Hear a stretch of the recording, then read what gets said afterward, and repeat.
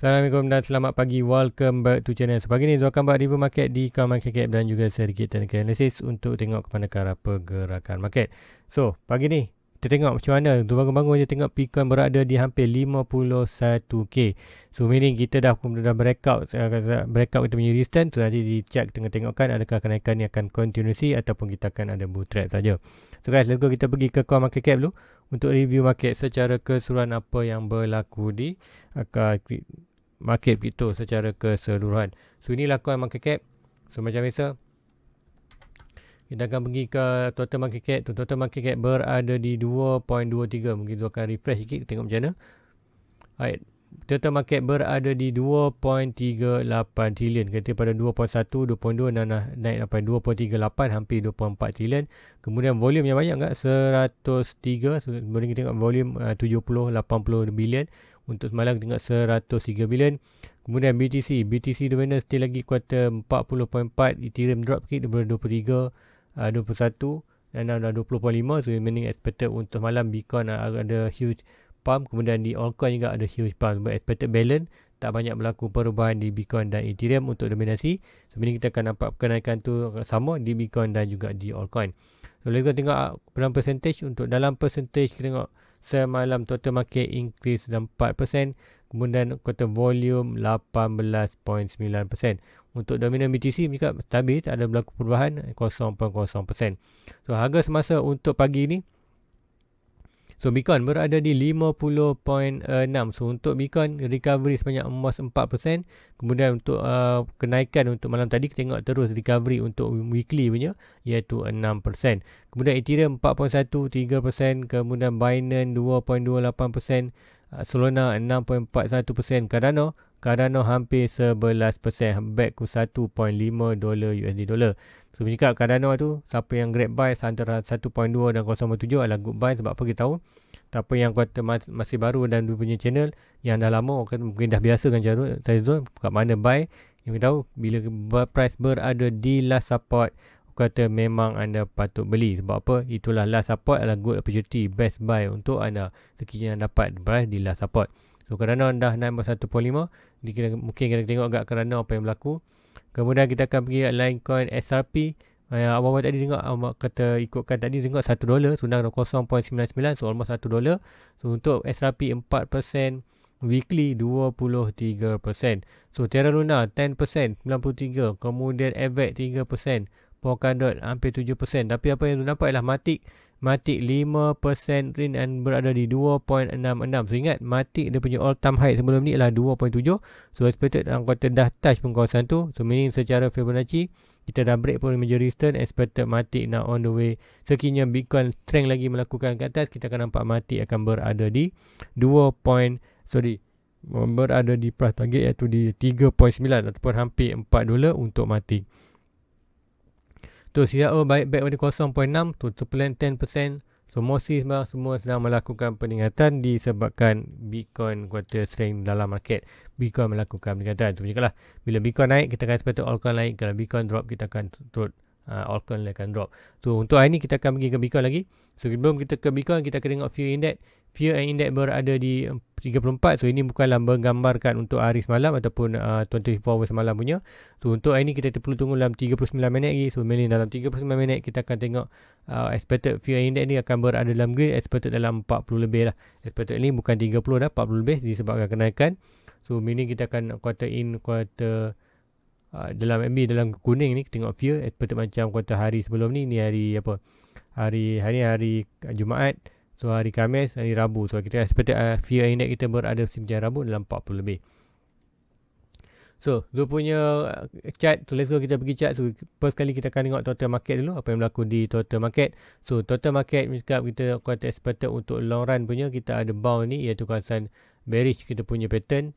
Expected dah pun dah touch kemudian dah bound to expected untuk total market ada potensi untuk naik. Untuk total market kita belum breakout di trend line. So sekiranya total market berjaya breakout trend line ni meaning kita akan expected price akan more naik atas. Sampai mana kita ada resistance kawasan ni antara ini. So expected price boleh naik sampai ke kawasan 2.5 kemudian expected mungkin akan berlaku sedikit retestment untuk retest kemudian hopefully dia akan terus breakout minor resistance untuk kita target at least 3.1 kemudian target yang lebih besar lah di atas ini. So itu yang tu nampakkan di total market apapun still lagi still lagi beware punya still lagi beware walaupun uh, price naik yes kata happy Cuma tu lagi beware dalam market tu tak masuk sebarang buy di spot. Sebab apa di spot kita ada price tu di bawah. So kalau macam cakap, sebelum cakap kalau price tu turun ke kawasan kita buy kita akan buy. Sekiranya price tu terus naik tak masalah kita akan layan profit. So secara yang modal yang kita ada tu kita simpan sebab apa cakap. So still lagi tunggu Bitcoin berada di 447. Sekiranya drop yes tu akan buy tapi kalau price tu naik tak masalah tu tak akan buy. Yang duit ada tu akan simpan kan untuk net punya net punya collection yang sekarang kita akan layan now kita akan regain balik dia punya profit untuk Bitcoin dia punya average berada di 52.8 so still lagi negatif untuk dia punya uh, Bitcoin tapi altcoin yang lain kata sedang melakukan peningkatan so mungkin Zul akan tunjuk kat dia punya portfolio So ini Zul punya portfolio. So portfolio Zul dalam berada 10.8. So ikutkan dia punya performance all time. All time now Zul dah regain balik profit eh, 11%. Sebanyak aku kata profit bersih tu dalam 1.1 dolar. So tak banyak tapi cakap tu hanya aku kata portfolio ni memang slow je kata ya, tapi pun still lagi profit tu. Untuk profit yang paling banyak tu nampak adalah kerana Ethereum 3, 360 dolar, Harmony 360 dolar juga, Matic 324 dolar, uh, Huobi token 257 dolar, Terra Luna 134 dolar, kemudian Dogecoin 130 dolar, kemudian Cardano back to 70 dolar, so mostly sedang melakukan peningkatan yang negatif. So expected negatif kita akan tengok Koti yang paling tinggi Sokoti 180, uh, Binimon 108, Zilika 90 tapi dekat Zilika ni uh, kita berada still lagi di kawasan uh, last support. So kalau huge pump kita expect Zilika akan berada di top 5 lah. Akan berada di top 5 tu punya akan penyumbang. So Bitcoin berada kawasan ni Bitcoin negatif 80 dolar sebab apa hampir di kawasan tu punya buy. Uh, di kawasan tu punya quarter average. So expected dia akan naik lagi tu akan profit. Tapi apa secara keseluruhan Zul punya portfolio in profit ada nak 1.1 dolar 1.1k USD dolar. So ini dalam lebih kurang 5000 ringgit lah kata bersih untuk dalam ringgit Malaysia.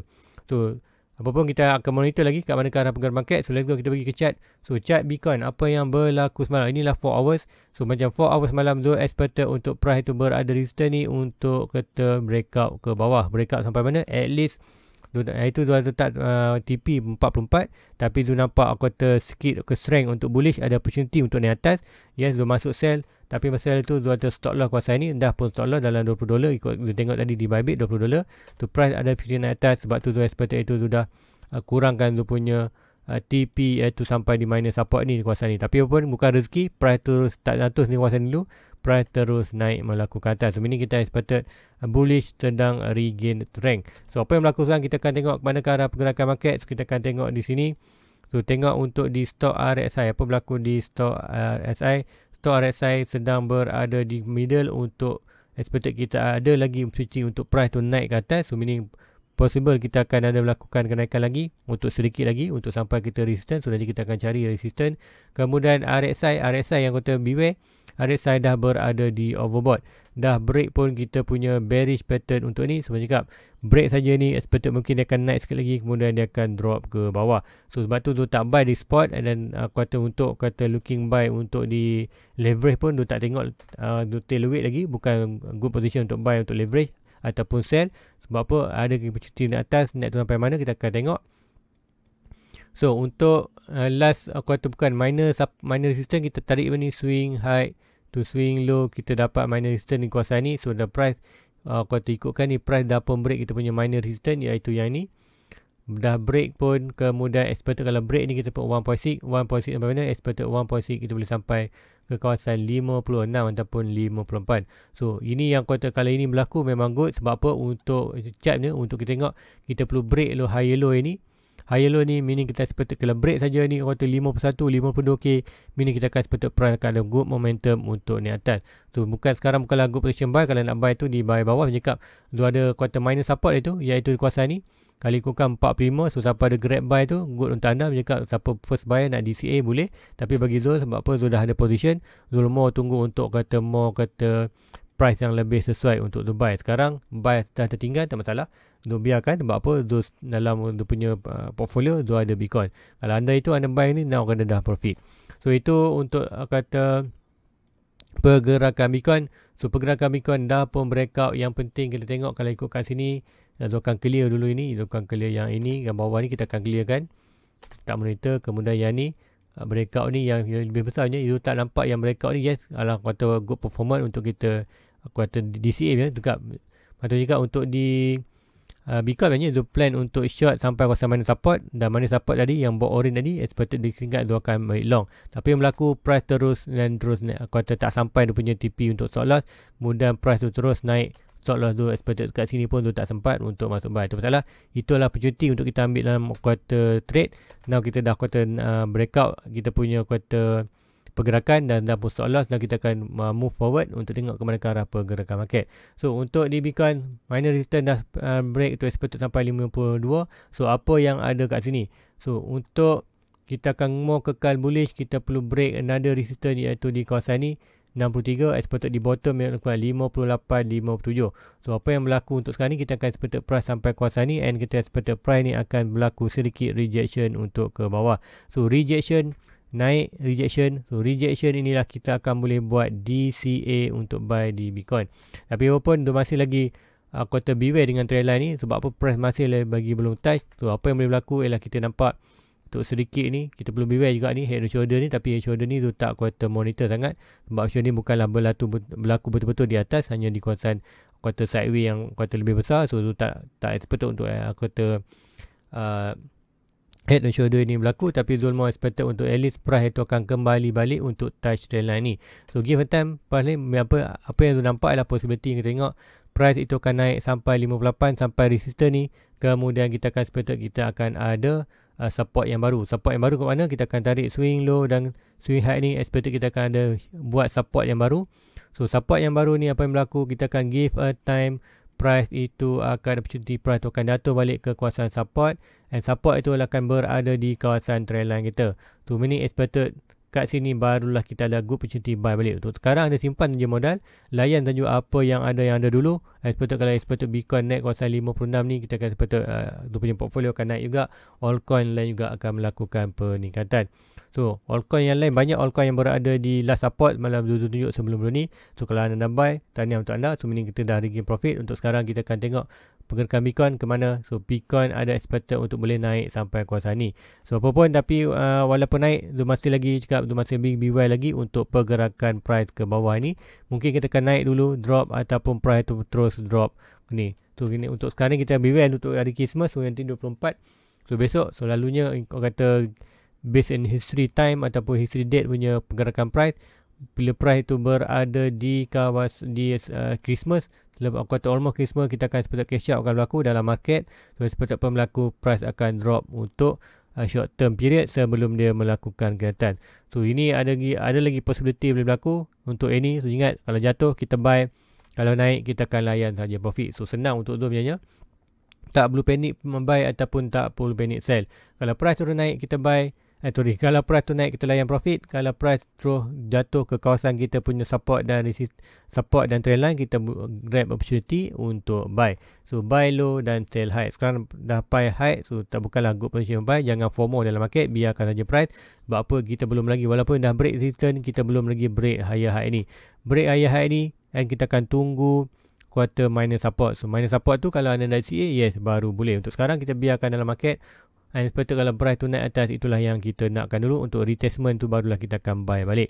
So untuk uh, di store uh, RSI, RSI dah berada over so beware dalam uh, market. So itu yang tu nampakkan di Bitcoin. Now kata uh, kata kita boleh enjoy kita punya portfolio untuk regain balik kata kita punya loss itu. Seperti untuk zone sendiri dia pun dah kata untung balik dalam 11 11% untuk dia punya total portfolio. So lain-lain coin kita akan tengok apa yang berlaku. Kita akan tengok di Ethereum. So Ethereum apa yang berlaku? Ethereum ikutkan dah pun breakout tu punya trendline iaitu trendline yang bullish ini. Dia hijau ni berdah pun breakout. So apa yang berlaku? Kita expect dah pun masuk balik kawasan ni. So ada untuk di Ethereum bergantung pada Bitcoin. Kalau Bitcoin terus naik kita akan betul Ethereum akan terus melakukan kenaikan. So untuk Bitcoin untuk Ethereum manakah dia punya resistance swing high to swing low kita dapat resistance kawasan ni. So untuk Ethereum kekal bullish ataupun regain more bullish expected price tu perlu break dulu kita punya resistance yang ini barulah kita naik. So selagi price tu tak sampai atas kita ada opportunity untuk price tu sampai kawasan ni dan bounce balik kawasan ke bawah. So bounce sampai mana? Untuk current daripada low low ini dan kada high ini untuk range movement ni kita ada low ini dan kita ada high ini. So ini apa yang berlaku kita akan tarik Fibonacci pada atas tu bawah. Sepatutnya kita akan kat mana kita akan sepatutnya akan tadi kita ada alright kita daripada low ini low yang tu, uh, circle ni kemudian atas high ini sepatutnya kita tarik Fibonacci swing low to swing high kita akan dapat minor support. So minor support kita berada di kawasan ni. So ethereum akan range dalam kawasan ni antara minor support dan minor resistance. So seperti uh, uh, dalam kawasan ni so kalau anda nak DCA cakaplah DCA adalah kawasan di support bukan di kawasan resistance. Resistance adalah kawasan untuk anda atau take uh, TP ataupun take profit sama bergantunglah kalau anda short term anda boleh buy sini sell kat sini. Bila price tu drop lagi kawasan ni buy lagi sini selagi mana price tu tak break kawasan minus minus minus support lagi bila price tu kan range dalam kawasan ni. So untuk ethereum kita akan seperti price tu untuk uh, macam dekat bitcoin ada, ada lagi possible untuk uh, melakukan peningkatan sikit dalam 55k untuk ethereum tu seperti akan berada sampai resistance. Break saja resistance ni barulah kita akan seperti ada price target baru. Untuk kata seperti short term price target swing high to swing low kita akan seperti price tu sampai di 1.655 tapi apa dia punya another major resistance kalau ikutkan yang ni kita akan tarik pada height yang atas ni. So ikutkan maybe kita akan monitor yang ni terus. Kita akan monitor yang last minor resistance. So yang ni terus sebab apa? Kita ambil daripada height ni. Yang ni kan ni high low saja. Kita ambil height ni kemudian low ni. So untuk current kita akan tengok price itu akan berada dalam range. Uh, kita ingatkan untuk ethereum 43 ke 40 43 ke 45 so Ethereum break 45 meaning kita akan expected bullish. Bullish tapi kita ada trend line dengan bearing to beware expected price boleh bounce balik kawasan ni. So sampai kawasan trend line putih ni anda boleh take on counter modal ataupun take profit. Expected anda boleh kalau yang long term anda boleh take profit at least dalam 20% 30% and then gunakan 20% 30% tu bila crash nanti kita kembali balik guna kita punya profit yang kita keluarkan tadi. So meaning asset kita akan sentiasa bertambah So itu di Ethereum. So beware untuk pergerakan ni. Kita akan nampak pergerakan ni. Untuk break ni baru akan bullish. Break sampai ni kita seperti ada lagi breakout ke bawah. Untuk dia, aku, dah, kita akan nampak ni. Kalau price sampai sini. Kalau aku kata gagal breakout ke atas. Kita seperti price tu kembali balik ke kawasan. Kita punya mana support dalam 3.9. So itu tu nampakkan Ethereum. So lain kan kita akan tengok di Cardano. So apa yang berlaku Cardano? Cardano dah naik satu, hampir 1.5. So Cardano bercakap ke mana kan group position buy kita tu? Group position buy kita tu berada di kawasan 1.2 dan kawasan 7. Betul-betul kawasan ni ya. Bercakap ialah good buy. Sebab apa tu good buy? Price tu range untuk long term pun kita range dalam kawasan ni. Ini good support. So price dah naik. So untuk di Cardano walaupun naik itu adalah kenaikan small aja. Kita perlu untuk kekal bullish lagi untuk momentum ke atas untuk Cardano kita ada satu trend line hijau ni. So untuk Cardano dia perlu breakout dulu ikutkan current price. Price tu kalau ikutkan hari ni punya price kita akan sepatut uh, end of day. End of day ni sebelum habis hari ni kita perlu breakout 1.8. So breakout 1.8 meaning kita akan terus akan uh, melaku ada more momentum. So sepatut untuk di stock uh, RSI, RSI dah pun berada di overbought. So then juga di stock RSI pun dah berada di overbought. So meaning kita akan expected price tu akan berlaku sedikit correction ke bawah. So jatuh sampai mana kita tengok untuk current kita ikutkan kita akan tengok price tu dah pun break. Sama juga macam Cardano belum lagi buat higher high ni still lagi sama. So seperti mungkin akan drop sikit untuk dia buat pergerakan ini. So ini apa yang berlaku kita akan buat daripada higher low ini kita akan buat higher high. Dan seperti kita akan ada minor drop, minor drop kita akan tarik daripada Fibo daripada high low ini tu high ni kita akan dapat kita punya support. So support ni nantilah baru kita buy balik. So tak perlu tunggu kawasan ni. Kat sini kita boleh DCA untuk expected price tu naik ke atas. Itulah kawasan kita nak cari mana support dan buy. Untuk price naik kita biarkan dulu price tu melakukan kenaikan belum berlaku retestment 60% 70% kita akan cuba DCA kalau minor support kita DCA kalau kata major support macam ni 1.2 ni kita akan buy all in untuk dapatkan target kita so itu untuk Ethereum So kita akan pergi juga beberapa coin lain. Kita akan tengok di uh, BNB. So BNB still lagi kuota range. Kalau uh, dia punya mana kuota major resistance. So bukan buy. So cakap buy whatever price to touch kuasa trail ni baru ke buy. So now it tidak. Binance tak melakukan barang pergerakan. So kita kena wait and see saja. Kemudian kalau ikutkan di apa lagi kita akan tengok di Koti. So Koti juga melakukan peringatan tu macam cakap kalau anda invest dalam Cardano make sure anda ada Koti. So ini yang berlaku tengok Cardano naik Koti pun turut melakukan perniatan. So untuk Koti apa yang berlaku sekarang ni kita boleh menilai kita punya minor resistance swing high to swing low price itu serang berada di minor resistance. So minor resistance dah pun bound ke bawah. So expected nak jatuh mana kita akan expected kita akan cari minor support. Swing low to swing high kita akan dapat minor support kita berada di kawasan ni. So expected price boleh jatuh balik dalam kawasan yang bawah ini. Disebabkan apa kita tengok di mencegap kenaikan untuk hari semalam menyebabkan kita price dah berada di overbought untuk RSI stok uh, RXI dah berada di overbought sedang jenis ke bawah. Dia boleh lagi range dalam kawasan ni. Range kawasan ni meaning kita akan tengok price ada lagi berlaku peningkatan tu kita akan tengok stok RXI momentum. Momentum lah now dah nak dah ke bawah. So meaning apa berlaku kita akan expect untuk di price di koti kita akan nampak possibility untuk price tu akan drop dulu. Untuk sampai kita punya resistance. So resistance kat mana? Kita akan expected minor return. Swing low to swing high minor minor resistance minor support expected dalam range kawasan ni. So price tu boleh drop antara sampai kawasan ni 0.35 ke kawasan 0.32. So semua expected kan 0.32 kalau drop kawasan tu expected barulah kita akan regain balik momentum untuk naik breakout ini. Breakout ni baru kita akan sampai kita punya quarter target iaitu di kawasan 1.6 ini punya Fibonacci. So untuk tu koti, koti average tu berada di 56 kalau lah still lagi negatif, dia akan tunggu, dia tak akan buy lagi. Sebab apa juga, dia akan tunggu great buy iaitu di last support. Last support yang jatuh sekejap saja. So, mini price tu naik, tak masalah. Kalau naik sampai dia punya average, dia akan profit. So, siapa ada buy di kawasan bawah ni, buy, buy anda tu, position anda lebih bagus daripada hijau. Sebab apa? Zul buy di major resistance, buy di breakout. So, buy breakout tu lah kata second best buy. Tapi open Zul more happy kalau dapat buy di last support. So siapa dapat buy di last support tu good untuk anda. Macam Zul, Zul kata still lagi holding tu punya uh, quarter modal untuk expected untuk prepare tu punya portfolio dia punya account ni untuk next bearish market. Sebab tu juga Zul mesti lagi walaupun itu dah jatuh. Koti dah jatuh di last support. Uh, apa lagi Phantom jatuh last support kemudian Cardano jatuhlah support tu tak still lagi buy so still lagi hold sebab apa? Di Bitcoin ada sepatut boleh jatuh bawah. Now Bitcoin dah naik atas tak masalah. Modal yang pakai tu tu boleh guna untuk kegunaan untuk kata next bearish market. So itu yang nampak di di chart ini. So tak sebarang kenaikan ini kita mesti beware lagi disebabkan tu nampak di Bitcoin maknanya di Bitcoin expected. Walaupun kita dah break ini so still lagi beware untuk Christmas. So apapun kita tengok macam mana. Hopefully price tu terus naik tapi expected maybe kita akan ada sedikit crash ke bawah. So dekat hopefully itu, itu bukan kata bear uh, kata bear trap. So apa yang berlaku adalah possibility untuk ni price belum break lagi higher itu ini walaupun dia kenaikan ni candle hijau tapi kita nak tengok at least price tu break dulu higher high ni expected buat higher high daripada higher low ni expected them retrace tu retrace nanti barulah kita naik. So biarkan dulu price naik jangan format in retrace nanti kita akan buy di minor support. Siapa nak DCA and expected kalau ada aku kata sedikit aku kata last push macam cakap last dump kita tu akan jatuh kita punya kawasan buy. Tu punya kawasan buy iaitu kawasan 44 ke mana-mana saja kawasan trail line ni. Barulah tu akan buy di spot. Untuk current tu akan tengok hanya buy di leverage saja. Tu leverage expected net position tu tu akan cari buy.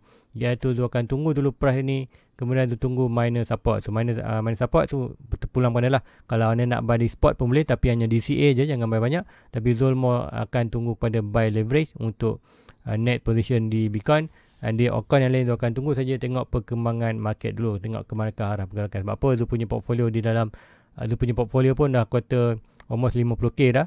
So, apa pun untuk dia akan prepare untuk cash punya. Zona kata sedang, sedang prepare cash untuk next bearish market. So adakah berlaku? Tu expected yes. Mungkin tahun 22 kita akan ada melakukan kenaikan sampai tahun 16 expected nanti kita akan ada bearish market selama 1 year atau 2 year so sebenarnya adalah good time price tengah naik kita tak buy kita akan standby kita punya modal untuk net punya bearish market. So guys rasa itu saja untuk pagi ni. So untuk pergambangan yes good. Kita happy mana juga tu happy je. Even tu punya stop loss di uh, leverage loss hanya loss 20 dolar tapi Zul regain 1.15 ada 1.15k kata 20 dolar tu hanya loss kata sikit je tapi regain di profit kata di portfolio adalah more better. Daripada kita uh, gain di leverage. So itu yang tu nampakkan di Bitcoin. Tu kenaikan ini Let's go kita hopefully price tu naik lagi ke atas. So ni dah pun breakout untuk punya minor uh, quarter minor distance tu at least untuk ini sampai ke 55. So 55 apa yang kita ada ikutkan 55 kita kalau kita tarik Fibonacci daripada ni uh, yellow ini kemudian ke lower low kita akan expected price itu akan break juga kita punya another resistance yang besar ini. So ini kita akan expected 1.6 kita lebih ke atas iaitu di sampai kawasan ultimate kita di kawasan ni. So apa yang berada di kawasan ultimate kita macam you cakap untuk um, quarter daily punya uh, quarter frame yang lebih besar mencakap kita sepatutnya akan ada light huge pump untuk at least sampai balik ke kawasan ni. And masa kawasan ni baru cakap kalau breakout atas ni kita kena huge pump tapi huge pump tu untuk kita take profit. And sepatutnya kalau dia uh, range lagi bawah meaning kita akan sepatutnya price tu masih lagi boleh range dalam kawasan ni. Apapun inilah pattern bearish give a time price tu kan drop bawah. So cakap uh, simpan hanya modal untuk current kalau ada good position buy baru kita buy kalau price naik kita biarkan dalam market jangan format in kita layan dulu untuk kita punya portfolio untuk kita tengok kat manakah uh, good position untuk kita take out profit untuk Bitcoin. Sebagai Zul untuk Bitcoin, untuk Bitcoin dan juga all-coin lain, kat manakah Zul akan take profit ataupun take at least sedikit profit Except bila Bitcoin berada mana-mana touch kawasan trendline putih ni dalam kawasan 70k. So, bila price Bitcoin sampai 70k, apa yang dia akan buat? Dia akan take profit sikit iaitu dalam 20% di Bitcoin dan juga altcoin uh, altcoin lain. Tapi dia mau hopefully dia tak ambil uh, di Bitcoin sebenarnya. Dia mau akan tarik lebih banyak di altcoin. Di Bitcoin dia akan hold untuk more untuk long term. So guys so, itu aja untuk pagi ni. Please like please subscribe share kepada rakan lain. So mungkin nanti dia akan ada update update yang terkini. So kalau di sini dia akan updatekan di Discord nanti. So siapa yang join dia punya group uh, YouTube membership anda ada dapat access di uh, dunia Discord. So guys, itu aja untuk pagi ni. Please like, please subscribe, share kepada rakan lain. So jumpa lagi pagi besok. Hari ni untuk kerja malam. So pagi besok jumpa lagi. Assalamualaikum. Bye